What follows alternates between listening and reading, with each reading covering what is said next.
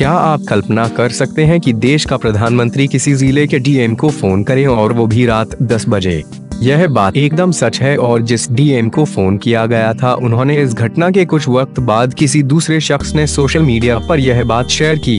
घटना की जानकारी देने वाले ने उस आईएएस अफसर का नाम नहीं लिखा है, जिसे पीएम नरेंद्र मोदी ने रात 10 बजे फ़ोन किया। लेकिन बताया जा रहा है कि ये अफसर हैं नॉर्थ त्रिपुरा के डिस्ट्रिक्ट मजिस्ट्रेट संदीप महात्मे प्रधानमंत्री ने क्यों किया? डीएम को फ़ोन। दरअसल पिछले महीने मीडिया में खबर आई थी कि नेशनल हाईवे 208 की खराब हालत की वजह से त्रिपुरा में ज़रूरी सामान और तेल की सप्लाई ठप हो गई है। इसकी वजह से चीज़ों की कीमतें आसमान में पहुँच गई हैं। यह हाईवे त्रिपुरा को बाकी देश से जोड़ता है। जब मामला पीएम मोदी को पता चला तो उन्होंने 21 जुलाई को रात 10 बजे सीधे डीएम संदीप महात्मे को फ़ोन मिलवा दिया। फ़ोन करने वाले ने जब कहा कि प्रधानमंत्री जी आपसे बात करना चाहते हैं तो वो डीएम का दिमाग सन रह गया। सोशल मीडिया की पोस्ट के मुताबिक उनके पैर बुरी तरह कांपने लगे थे।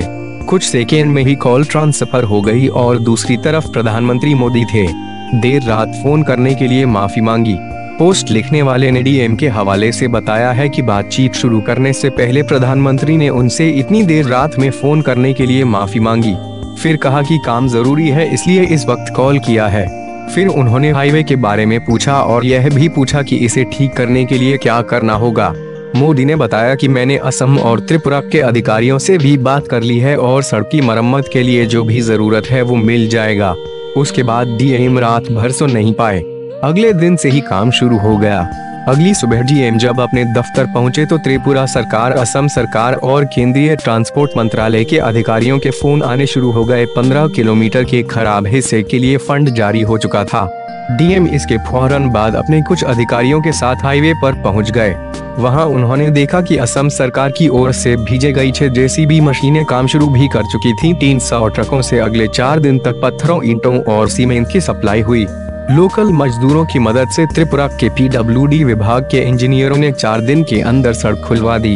इसके बाद त्रिपुरा में ज़रूरी सामान के लिए मचा हाहाकार खत्म हो गया। बिना किसी शोर शराबे, चुपचाप काम।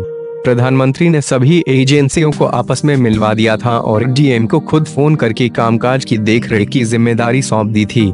युद्ध स्तर पर हाईवे को ठीक भी कर दिया गया, लेकिन मीडिया में यह बात नहीं आने पाई। इकतीस जुलाई तक हाईवे पर ट्रैफ़िक पूरी तरह नॉर्मल हो गया। तब कुछ अखबारों में सिर्फ़ यह खबर छपी कि सड़क ठीक होने से सामान सप्लाई का काम ठीक हो गया है।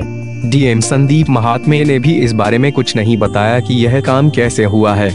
उन्होंने कहीं भी पीएम से हुई अपनी बातचीत की पुष्टि या खंडन नहीं किया है। महात्मे ने फेसबुक पर सिर्फ़ एक पोस्ट लिखकर यह बताया कि नॉर्थ त्रिपुरा की हमारी टीम ने बहुत अच्छा काम किया है। हमने नेशनल हाईवे 208 पर 15 किलोमीटर हिस्से की मरम्मत का काम सिर्फ़ छह दिन में पूरा कर दिया है। 360 ट्रकों और जेसीबी मशीनों की बदौलत त्रिपुरा में जनजीवन सामान्य हो पाया है। ईंधन से लेकर खाने पीने की चीज़ों के ट्रक पहुँचने लगे हैं। लोकल लोगों की मदद के बिना यह काम नहीं हो सकता था। इस बीच यह खबर भी है कि रोड ट्रांसपोर्ट मंत्री नितिन गडकरी ने ऐलान किया है कि त्रिपुरा के एन एच और एन एच को दुरुस्त करने का काम बहुत जल्द शुरू हो जाएगा। इसके अलावा उन्होंने नॉर्थ ईस्ट के बाकी हाईवे का भी सर्वे कराने को कहा है ताकि उनकी भी सही मरम्मत कराई जा सके। अधिकारियों को सीधे फ़ोन करते हैं मोदी। इस घटना के सामने आने के बाद यह सवाल उठने लगा है कि क्या वाकई प्रधानमंत्री मोदी काम करवाने के लिए अधिकारियों को सीधे फ़ोन करते हैं? 2014 में सरकार बनने के वक्त भी यह बात सामने आई थी कि मोदी ने देश भर के सरकारी अधिकारियों के नंबरों की एक डायरेक्टरी बनवाई है। इसके ज़रिए वो हर उस काम पर नज़र रखते हैं जिनमें उनकी सीधी रुचि होती है। बनारस के एसपी रहे प्राजल यादव ने भी एक बार प्रधानमंत्री से बात का ज़िक्र किया था। हालाँकि इस तरह सीधे तौर पर करवाए जाने वाले कामों का ज़िक्र न तो कभी प्रधानमंत्री की तरफ़ से और न ही उन अधिकारियों की तरफ़ से किया जाता है। त्रिपुरा के नेशनल हाईवे 208 की हालत और मरम्मत की कुछ तस्वीरें आप देख सकते हैं।